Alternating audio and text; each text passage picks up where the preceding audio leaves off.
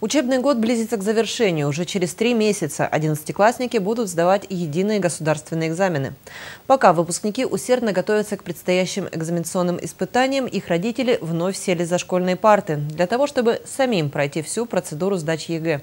А затем, используя полученный опыт, помочь настроиться своим детям. Подробности в следующем материале выпуска.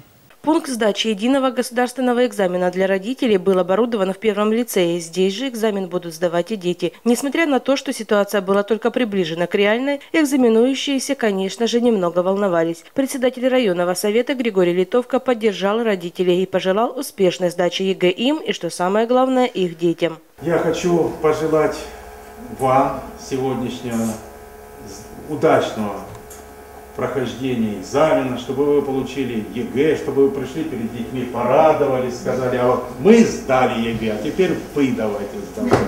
То есть дайте фору сегодня вашим э, выпускникам. Поэтому я желаю вам всего самого доброго.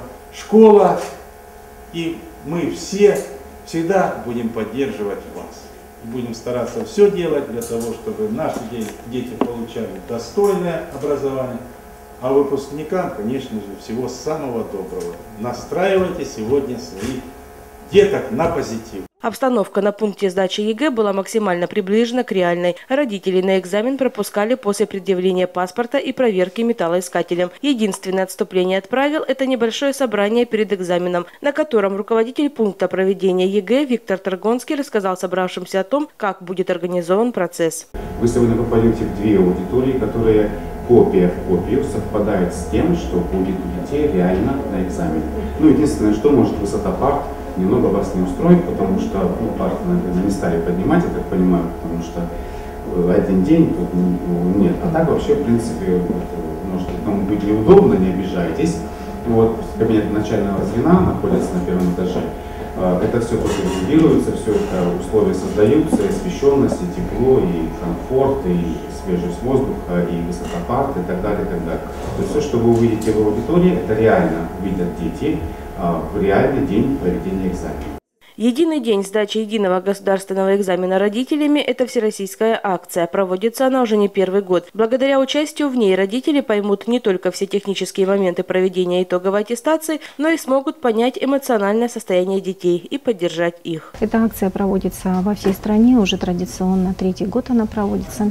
Призвана она для э, быть проведенной для того, чтобы родители понимали, что это не так сложно, как может казаться на самом деле, потому что от родителей очень многое зависит, именно психологическое состояние ребенка, когда он готовится к ЕГЭ. То есть, когда родитель сам прочувствует всю процедуру проведения единого государственного экзамена, он будет понимать, что это не сложно, что это все возможно, при условии, если ребенок готовится к единому государственному экзамену. Сдать единый государственный экзамен раньше своих детей и на собственном примере прочувствовать всю процедуру государственной аттестации решились около 30 славянских родителей. Я пришел специально для того, чтобы посмотреть, как даются экзамены.